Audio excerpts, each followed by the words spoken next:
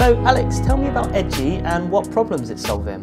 Absolutely. So, if you are a, a, CDO or a CPO in a company and you own a website and you want to make decisions based on the data that you collect, based on what, how people use it, or how people use your product, or your e-commerce, or whatever you do on the website, chances are that you are missing up to 50% of the data. So, chances are your decision, the decisions you're making, uh, could be biased or wrong. And that's a problem if you are uh, owning the data pipeline in your company. Why would you be missing 50% of the data? That's a great question. Uh, there is no single factor, although there is a single cause that we can pinpoint. But let me, let me tell you about the high level causes. So, first of all, ad blockers. Ah.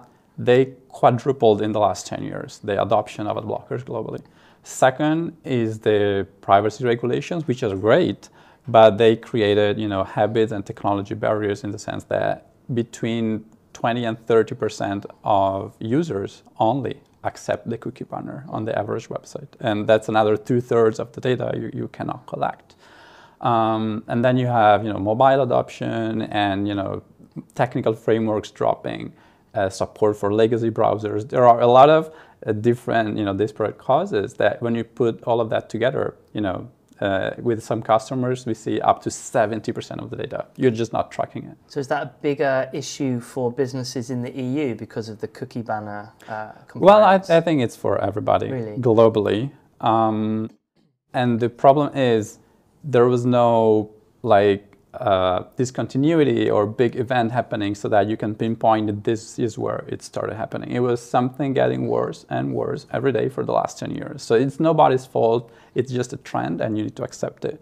What you can do about it is uh, uh, knowing that this problem exists and you can do something about it and fix it. So that's the problem we're trying to solve at Edgee. So we allow companies to collect 100% of the um, web analytics data so they can make the best decisions. Wow, that's a big claim, 100%. So does it how does it do that? Does it run something in the browser? I guess not, right? Because that's on the the customer's side. So right. Can you tell us a little bit about how it does that behind the So scene? I mentioned the biggest cause technically is that 99% of uh, web analytics relies on client-side SDKs, which is JavaScript scripts running in the browser. And whether you're doing, you know, an e-commerce or a media website or a blog or whatever you do on your website, you cannot control what actually happens on the browser because people have ad blockers because they don't want to see ads, but these ad blockers also tend to block, you know, analytics calls, even first-party ones often. Um, and so that is the biggest cause for this huge data loss globally in almost every website. And so what you can do is, and that's how we are trying to solve the problem, is to shift that computation from the client to the edge. So a lot of people, for example, use server-side tagging, which is an alternative solution where you have some kind of proxy or another server that takes care of the tracking. But that is also easily blockable and you have control of it. It's not transparent. It's not open source technology that you can customize. And so with Edgee, we act as a proxy in front of the customer website. And because we act as a proxy, we can uh, directly take care of sending the data to the analytics tool that the customer is already using, whether it is you know, Google Analytics or Amplitude or Segment and so on. And this is only for, it is not only for analytics, it could be for your cloud database or data warehousing APIs. Um, it could be for um, consent management platforms. It could be for you know all sort of data that you need to send somewhere from the browser. So does that mean that the, the person browsing, the customer's customer, will hit uh, Edgee's proxy before the web page loads in their browser?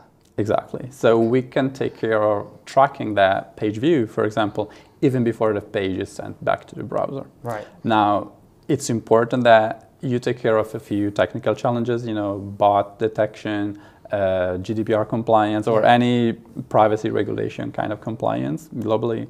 Uh, and, and, of course, we do that as well. So, what you can do if you want, for example, to understand how people use your product, you want to track page views, you want to track custom clicks or client-side interactions, and those can still be tracked thanks to the Edgee SDK. So there is an SDK, but you can get rid of the 5, 10, or 15 SDKs that you have today. You replace all of those with the Edgee SDK, and that takes care of talking to the Edgee proxy that does the actual data delivery to the tool that you're already using today. So it's funny because uh, some people look at Edgee and they say, oh, so you are a data analytics platform and you are competing with uh, the Google or the Amplitude. It's, it's not true. Mm. We are actually helping you make the most out of those platforms that you're already using today. Yeah.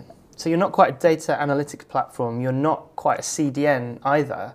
You're the piece in between that allows you to collect the correct data for your customers. Exactly. Yeah.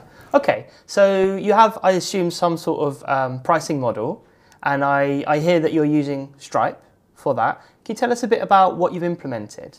Absolutely.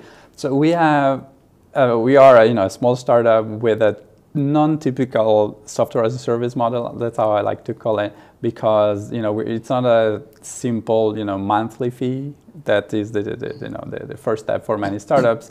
We actually have a, a flat a flat rate monthly, but also a consumption based model. Mm. So if you are a, an Edgee customer, you use Edgee, and every month, like in the cloud, uh, you pay for the consumption of that month, right?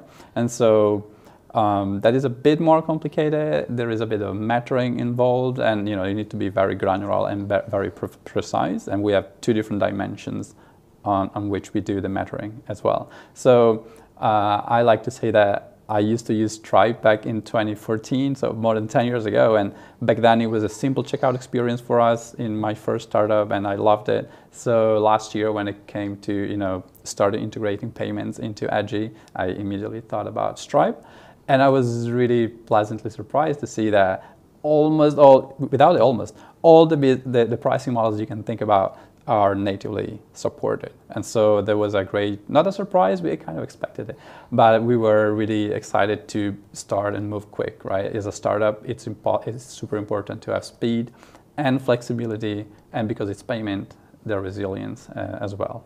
It's actually really cool to hear a usage based billing use case that is not Gen AI, especially from a, a startup, right? Because uh, I know that's that's definitely a, a, a, vertical that is using the usage-based billing um, uh, offering a lot. But so it's nice to hear like a, there's alternate use cases out there. Okay, so you meant you mentioned before that you have to set up meters, like you have to have some number of things that you're going to track for what you're going to bill for. Uh, what meters have you set up, and how did you decide what to measure? So we have two different dimensions uh, to measure. One is the number of requests that go through the Edgee proxy. And uh, that's similar to how you would think of a CDN, for example, right? Because we do run on top of existing CDN providers like Fastly and Cloudflare and so on. Um, and in addition to that, the major dimension is the number of data events mm. that we do deliver to the final uh, analytics destination. And there will be more in the future as, as we expand the number of features and integrations.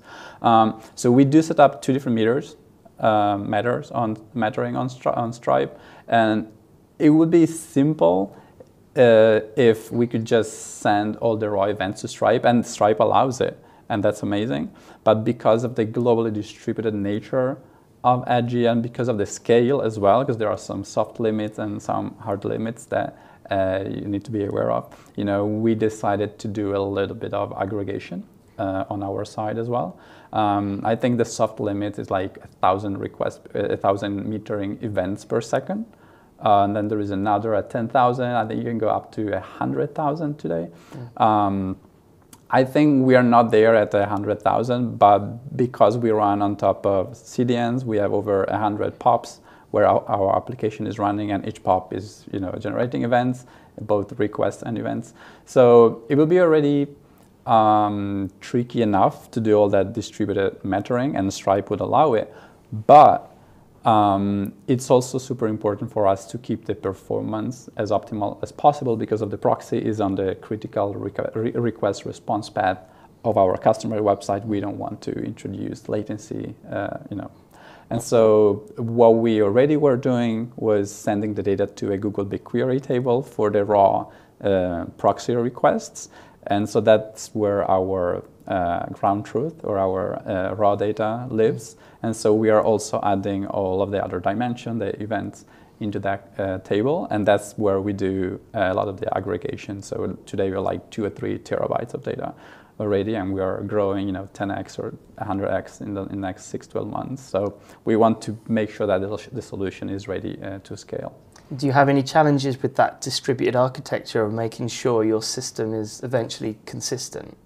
That that is one of the issues because um, we already manage over six billion requests a wow. month, and so that's you know even for a startup, it's already you know, a pretty pretty large number of requests. And Stripe does allow us to use uh, idempotency keys, for example, and to handle that uh, that. Uh, technical challenge mm. um, because we decided to do some pre-aggregation that's not a huge issue um, because if you do hourly aggregation like we do for example the timestamp is unique by default, right? So we take care of doing, you know, hourly processing, and once we do that, we can say Stripe, here is the meters for the last hour, here is the timestamp, and Stripe takes care of making that unique. So even if we run it again, uh, you know, it's, it's going to override the previous data, but mm-hmm. you know that that's pretty cool for us. It, it already comes with some idempotency and resiliency and coherent data consistency for us. That's great.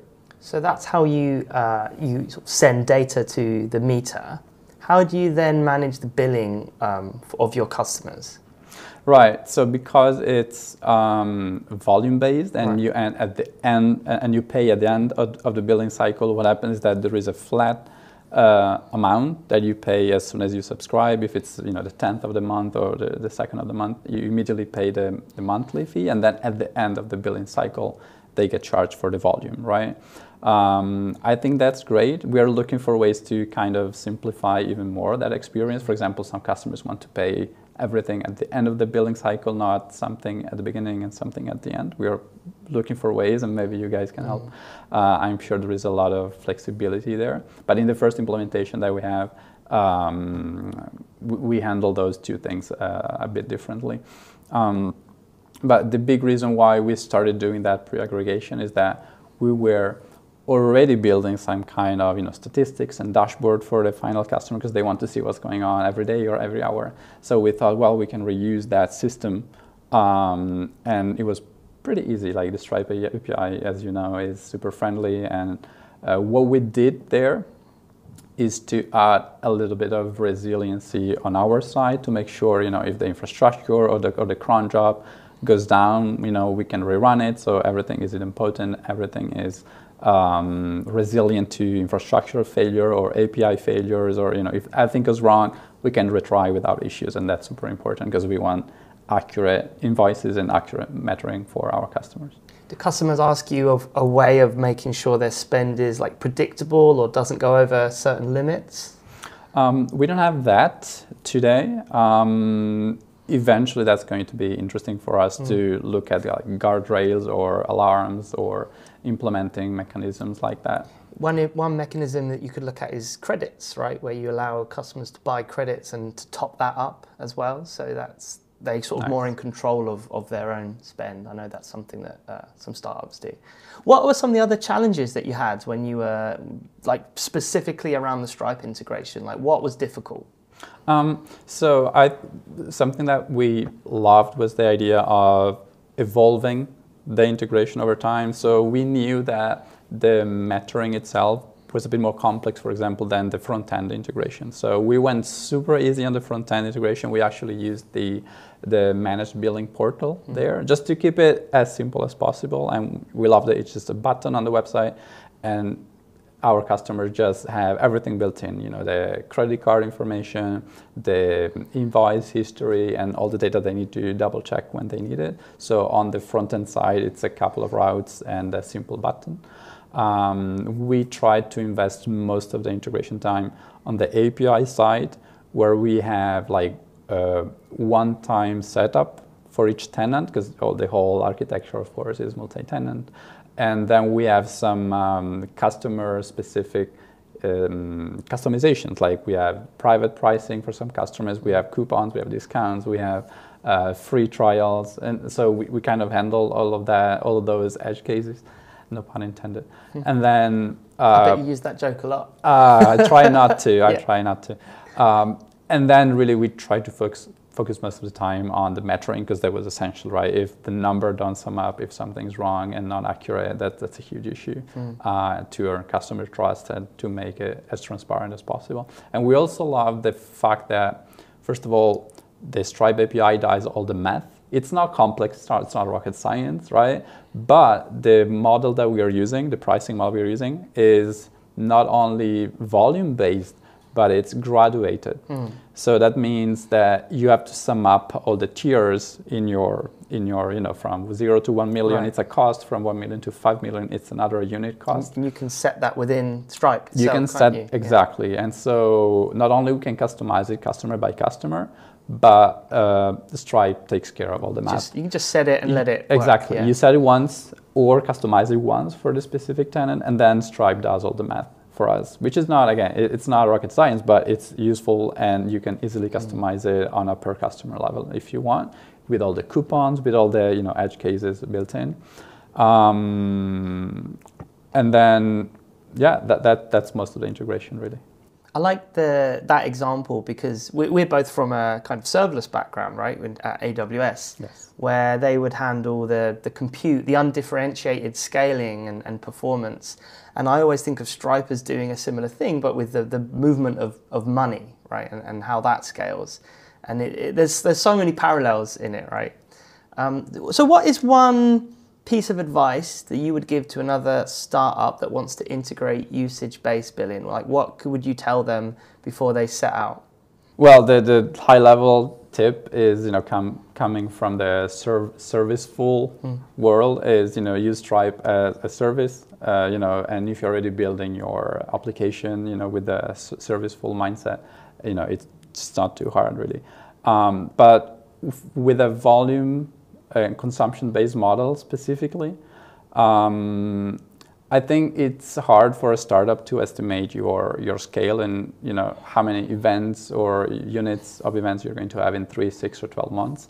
So maybe we went a bit overkill and thought, okay, if we do 100x in the next six months, you know, some of these limits we're gonna hit, and so we added maybe a bit of early complexity, but we haven't regretted it yet.